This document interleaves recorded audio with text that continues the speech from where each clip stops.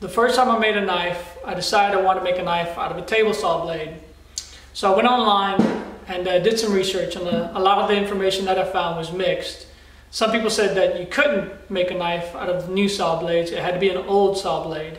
Uh, some people said only the tips are hardened steel, which in this case they usually have carbide.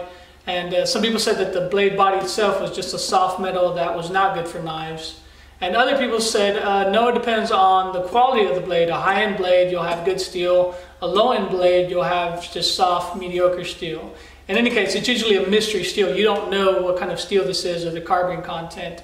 Um, so I'm going to show you what I did the first time I made a knife from a saw blade. And uh, that was to cut a piece off, harden it, and then try to see if I could snap it, see if I could uh, rake a file across it, and to see if it was actually hardenable. So I'm going to do that again just to kind of show you uh, real quickly for anyone that's out there curious about saw blade knives, um, if it can be done. As a bonus, I'm going to harden this piece of 1095 knife steel and uh, I'm going to heat it up until it's non-magnetic, quench it, and to see if I can snap it in my vise. Versus a piece of mild steel. This is the stuff you get at the big box stores like Home Depot, Lowe's, uh, that they sell in their steel section. This is not uh, material that can be hardened. I'm going to show you the difference of what happens when you heat it to non-magnetic, you quench it, and then when you try to put in a vise and see if uh, it's been hardened. Um, so I hope you find this video informative and uh, maybe helpful. Thank you. Enjoy.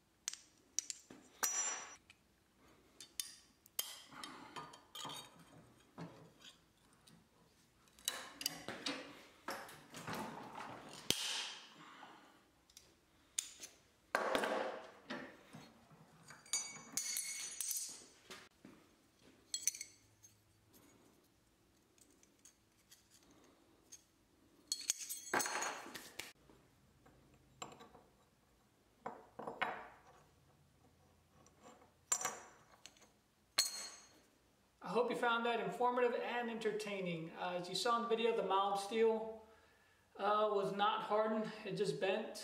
So you can't harden that. The table saw blade uh, was hardened, uh, snapped, nice clean break right in the right in the center there.